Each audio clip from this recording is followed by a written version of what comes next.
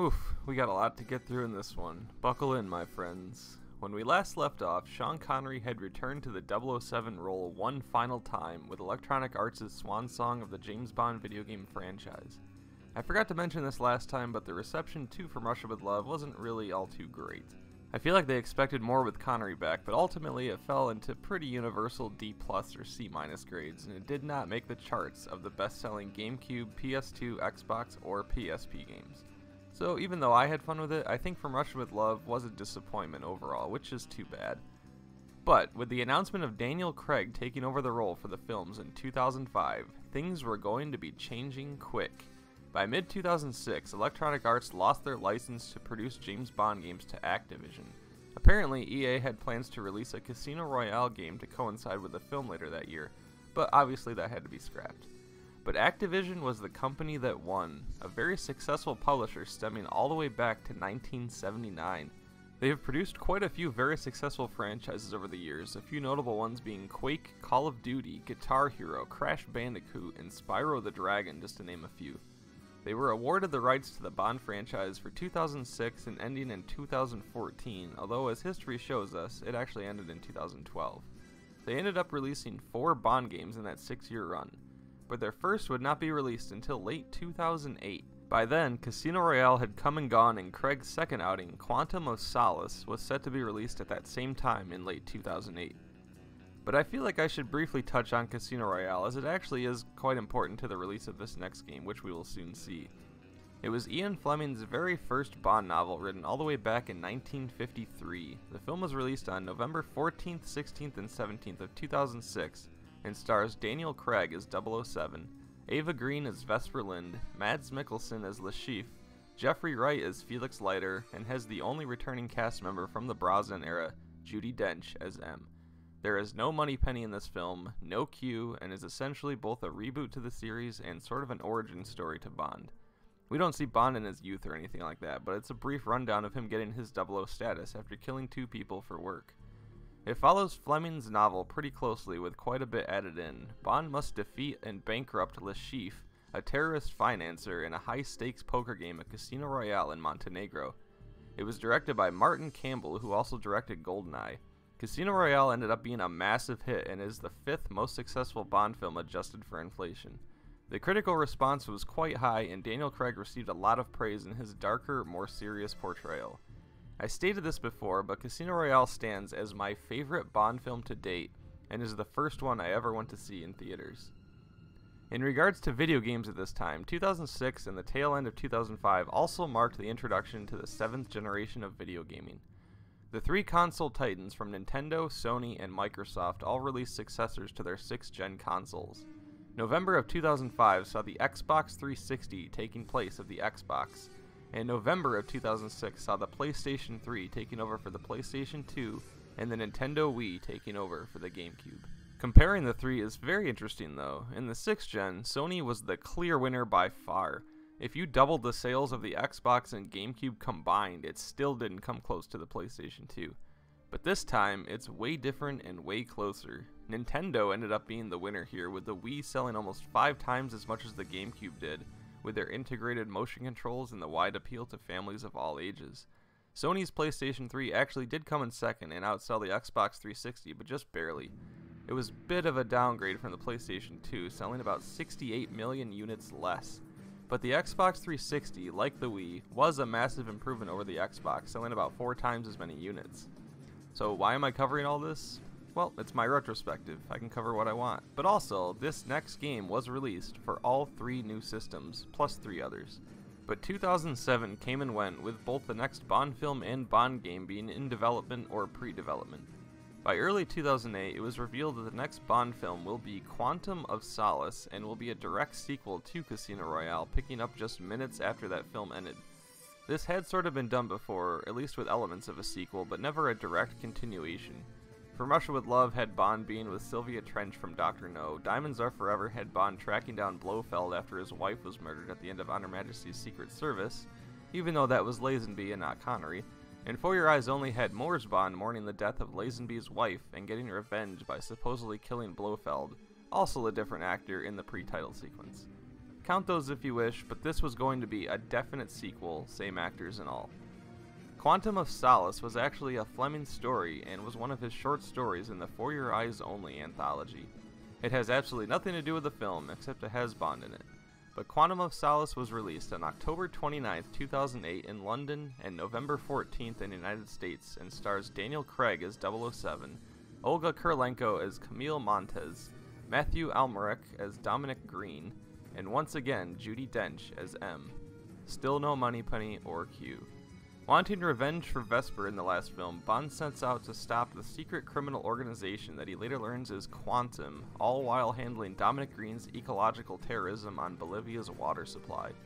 It was directed by Marc Forster in his only entry in the Bond series.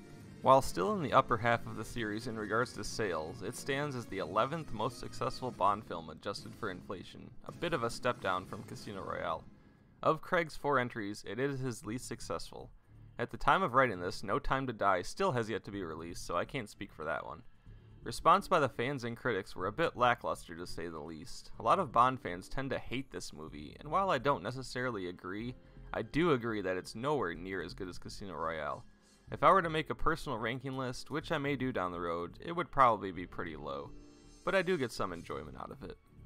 Which finally brings us to the game proper. Activision's first entry into the series, and it's a game for a movie that not many even liked. Not a good sign, but let's get into this a little bit. Activision really wanted to get back to the idea of covering as many bases as they could here and release the game on a whopping six different platforms with three different developers. First, there was Treyarch, a developer that mostly focused on the Call of Duty series, making their version for the Xbox 360 PlayStation 3, Nintendo Wii, and Windows, with the latter two also being ported by Beenox. A developer by the name of Vicarious Visions, largely known for the Tony Hawk and Guitar Hero series, made their own version for the Nintendo DS, making a return to the series from GoldenEye Rogue Agent. And lastly, our old friend the PlayStation 2 even got its own release from another one of our old friends, Eurocom, returning from James Bond Jr., The World Is Not Enough, and Nightfire. The game was released on October 31st, 2008 in Europe, November 4th in North America, and two weeks later in Australia. By 2008, I had recently gotten my college degree and was well immersed in the Bond lore and collecting. I went to see Quantum of Solace in theaters a couple times, yet I had little to no excitement for the release of this game. I did not have a lot of money with the college thing and all, so I didn't end up getting one of the new systems until probably around the release of this game.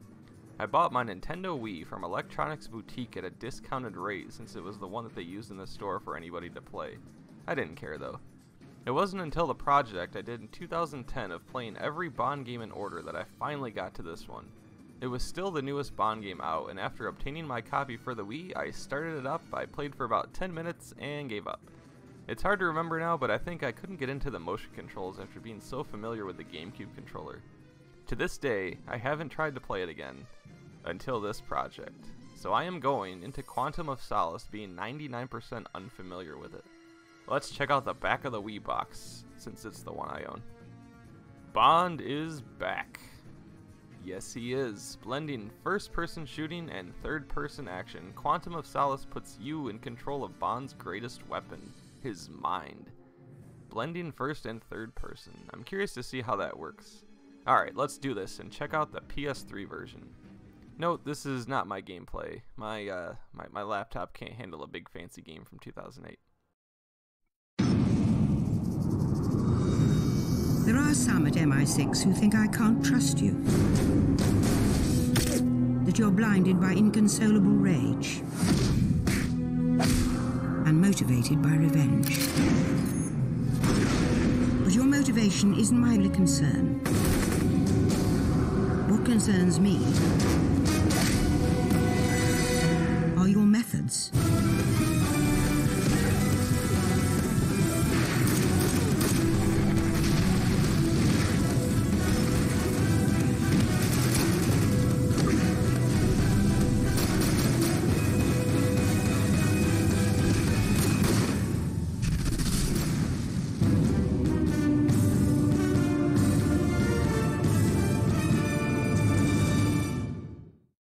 Excellent. We get a usual trailer for the game mixed with a continuous cut to Bond in his infamous gun raised pose that's synonymous with Quantum of Solace. I mean, it's on all the posters and box art, but it gets you hyped for the game. Then, and it should be noted that there will be spoilers from Casino Royale the movie here since Quantum is a direct sequel and all. It begins with the very last scene from Casino Royale with Bond shooting Mr. White and approaching him. In the film, it's an awesome moment and a perfect ending to the film.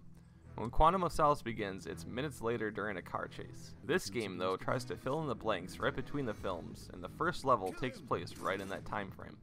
What did exactly happen between Bond saying his famous line and the car chase? Well, apparently it's this. Then we find out how the gameplay works with this hybrid of first and third person. It's first person until you go into cover mode, which switches to third. This kind of makes sense, as the cover mode worked pretty well in Everything or Nothing and From Russia with Love, so yeah, I'd say the hybrid method does work. Graphically, it's a step in the right direction for sure. A definite improvement over the 6th gen graphics, but if you're used to how games look nowadays, yeah, this may not draw you in in 2021. But that's an unfair assessment, and this retrospective is supposed to make you feel like you're in 2008. Daniel Craig, though, something seems a bit off with him, and I can't place what it is. It's not awful, though, and you can clearly tell it's supposed to be him. You continue on through Mr. White's estate, which makes for a pretty cool game location, actually. You do the usual Bond game thing of shooting through waves of enemies, and at this point, yeah, you know the drill. The feel of it seems to match the more serious Craig era tone, and you aren't engaging in mid-air jetpack battles like in From Russia with Love. One little addition that you'll come across are cell phones laying around. These help provide text or audio data to add some story immersion and act as collectibles to find. You'll eventually hack into Mr. White's computer system, resulting in. Uh oh. Because he's holding a thermal detonator!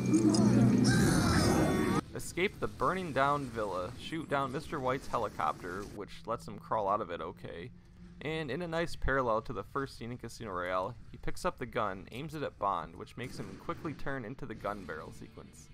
And we get our title sequence, which to my surprise is not Another Way to Die from Jack White and Alicia Keys, but a completely different song performed by Kerli, David Maurice, and Richard Fortus from Guns N' Roses and Thin Lizzy, weirdly enough.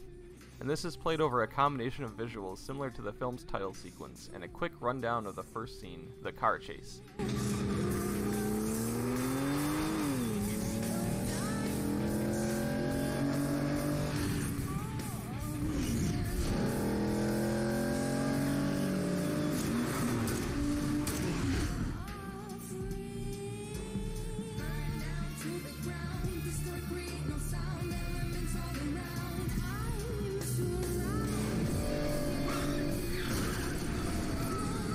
The song is decent. I actually quite like Another Way to Die, so this is sort of a disappointment, but it's whatever. It's an original song for the game. Visually, though, I think it looks great, a pretty solid title sequence. You'll also notice the voice actors here like Daniel Craig and Olga Kurylenko, but then you also see Eva Green and Mads Mikkelsen, two actors whose characters died in Casino Royale. Hmm. Mission 2 continues to follow the film with M and Bond interrogating Mr. White after capturing him in Siena. M's bodyguard, Mitchell, then betrays MI6 and helps Mr. White escape, and you are to track this bro down through the streets and buildings of Siena. The gameplay is mostly the same here, the same waves of enemies while chasing Mitchell. Once you reach the bell tower, you get to melee against him with some pretty nifty quick time events. Press the buttons when they appear to land punches and kicks. If done properly, you will knock Mitchell down to his death, allowing you to grieve the loss of your boss's bodyguard.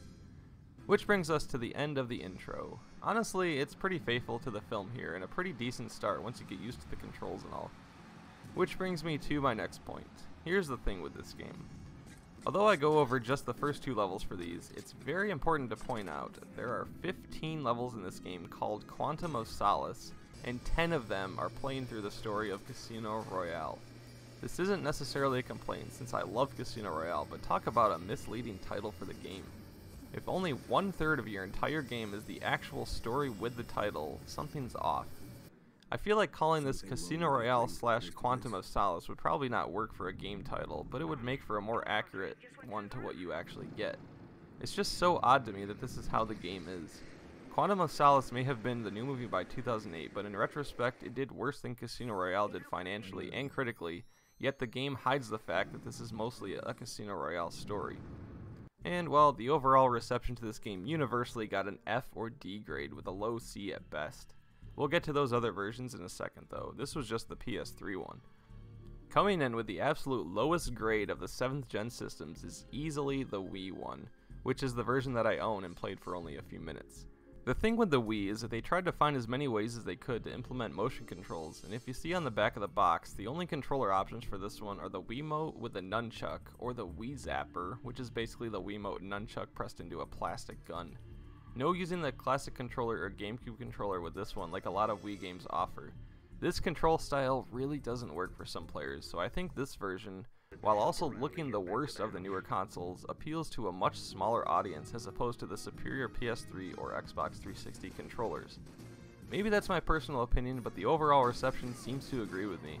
Apparently this version has some pretty noticeable lag too, which really hurts the focus on accuracy. That's a huge negative too. The Wiimote can also get tiring to use as you constantly have to have your arm raised and pointed at the screen in order to play. Sometimes you just want to unwind with a video game and making your arms tired may not be what a lot of players want. As far as the Xbox 360 and Windows versions go, they're very similar to the PS3. The graphics are pretty similar among the three with the Wii falling behind there.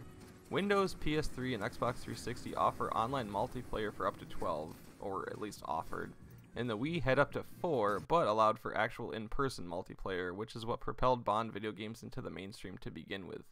But with all the other negatives with the Wii version, that doesn't really make up for this game being one you want to seek out friends to play with. But we still have two other versions to cover, even though these are on old school systems the Nintendo DS and PlayStation 2 with some different developers. Let's check out the PlayStation 2 version first. As expected, it starts the same way with Bond shooting Mr. White in the leg and the obvious lower end graphics, so we essentially get the same story. When starting, the gameplay is different right away. This version doesn't go for the hybrid control style like in the newer gens, it's simply in the third person and controls like From Russia with Love did. There is an emphasis on GPS tracking with this one to I guess help with orienting your whereabouts more. This one also has much more of an emphasis on stealth, which depending on your style of gameplay could be a good or bad thing. Aside from the standout PS2 graphics and altered style of gameplay, there isn't too much to say about it. The game still follows the Quantum of Solace with Casino Royale structure, but with less levels actually. Also, there is no multiplayer to be had here. But here's the thing with this one. This one is typically considered to be the best version. Not by much, but I think with it sticking to the third person style, more players latched onto that as opposed to the hybrid one. I can't really speak from experience, at least not yet, but I would like to play through this version someday. I guess sometimes the old ways are the best. And yet we aren't quite done yet. Yes, there is the DS version left to bring up from Vicarious Visions. This one is quite a bit different, even for a DS game, in that you play it in book form with the DS on its side, and has a huge emphasis on touch controls with the stylus. This one, instead of us seeing Bond shoot Mr. White in the leg from the get-go, we get some classic MI6 training to get used to its controls. Half the screen is a GPS map, and the other half is the actual game with Bond uh, awkwardly running around in all directions. This one tends to have an emphasis on hand-to-hand -hand combat, which can result in some pretty fierce action. Oh, and there's no Camille in this game. Sorry, Olga. I guess. Critically, this one seems to get a solid D grade. Like with many of these handheld versions, it's unique for what it is, but not typically the ideal version for getting your Quantum of Solace fix, if that's even a thing nowadays. But hey, it's still apparently better than the Wii one. I guess sometimes the old ways aren't always the best. For such an old game now, there isn't too much to say about the multiplayer. The servers for the online ones were shut down long ago, and only the Wii one offers local multiplayer, as I mentioned before. You know, the worst version. They did try some new ideas here, like one person is Bond and the others are the organization trying to stop him, kind of like Jason on the newer Friday the 13th game. Now there's a comparison. So there's a pretty basic rundown of Activision's first foray into Bond video gamedom. Was it a success? I mean, I would say it's a pretty simple no. I feel like nobody really cared about this game. I don't know anybody else personally who even played it, and it was never really on my radar either. I think the subpar reception to the movie made people less excited for this, and was ultimately not a very strong start for the Activision era. But at least it was cool to once again be back into a movie tie-in release, as we haven't had one in close to a decade here. And unfortunately, this would be the very last one as well. There will not be a game release for Skyfall, Spectre, or No Time to Die, and the days of us getting a Bond game with the new movie are long gone. Rest in peace to the real ones. Next time, we're going to be going back to basics, back to what made Bond video games a success. That's right, it's time to go back in time to an old film release, now 15 years in the past. We'll see if Activision's sophomore effort can be more enjoyable than their first. And we're saying goodbye to the PlayStation 2 for good here. Also, no PC version, but they will be back. It's time to enter the remake territory. James Bond will return in GoldenEye 007, as well as GoldenEye 007 Reloaded.